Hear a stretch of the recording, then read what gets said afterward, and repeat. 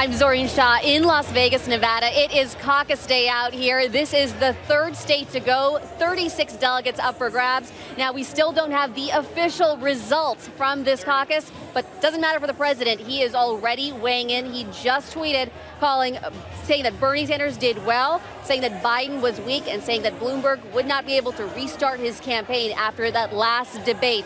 Now, we are at Joe Biden's headquarters where the people here, they would, would say uh, quite differently that Biden, they feel very strongly about him. Everyone here, of course, say that they, they caucused for him or they early voted for him. But the man with the momentum tonight is, of course, Bernie Sanders so far. We have Rick Klein in D.C. with some of those numbers. Rick, what are you seeing there?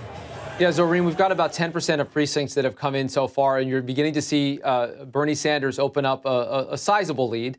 Uh, we don't know how significant it's going to be. Uh, we don't have any projections to make at this time. But uh, critically here, you see those two different sets of numbers, Zohreen, on the screen. The first one is uh, the first alignment. That's what people say when they walk in the room. The second one is what happens after other candidates essentially drop out of the running. Uh, if you don't have 15 percent, the candidate doesn't get anything at all, and therefore all the people that supported that individual get to move around. And you're seeing uh, Bernie Sanders uh, strengthen his numbers based on that. Uh, you see that final column is based on a different data set that's only a partial one. It's very small so far. That's official data from the state party. Uh, that really doesn't tell us much so far because it's so early in the night. Um, but what I would say was notable about that is that we're seeing anything at all because we remember well what happened in Iowa a few weeks back, Zohreen, when the state party had nothing to put out for the entire evening and had to just put goose eggs, a bunch of zeros for the for all night. Uh, so the idea that some information is coming out is viewed as a positive sign. A bunch of campaigns are still concerned that it's been too slow.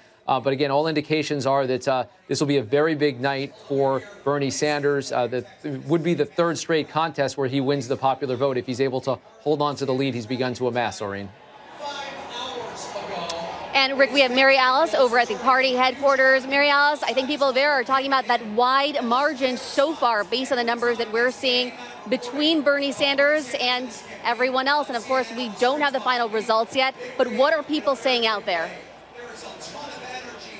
Yeah, the campaigns are already starting to spin the possibility of second place. They know that a second place headline under Bernie Sanders could be really big going into Super Tuesday, especially if so many candidates stay in the race. With no candidate able to break 50%, that number two slot just becomes so important. So I'm going to be watching, obviously, who comes in second, but what that margin is. If Bernie Sanders is able to run away with this, if we're looking at something like a double digit win here in Nevada, it's much harder to spin the positivity of a second place finish.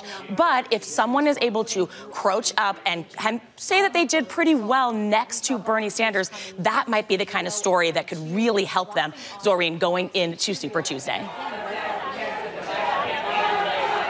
And that's Deputy Political Director Mary Alice Parks. We are over here at Biden's headquarters where people are getting really rowdy. Despite the fact that the numbers currently are not showing uh, that Biden is in the lead, they are pumped here. We see a lot of people back here dancing, really excited. Biden is expected to take a stage in the next half an hour or so. We know he wanted a top two finish, so we'll see what he says on stage. Reporting for ABC News Live, I'm Zohreen Shah. Hi, everyone. George Stephanopoulos here. Thanks for checking out the ABC News YouTube channel. If you'd like to get more videos, show highlights, and watch live event coverage, click on the right over here to subscribe to our channel. And don't forget to download the ABC News app for breaking news alerts. Thanks for watching.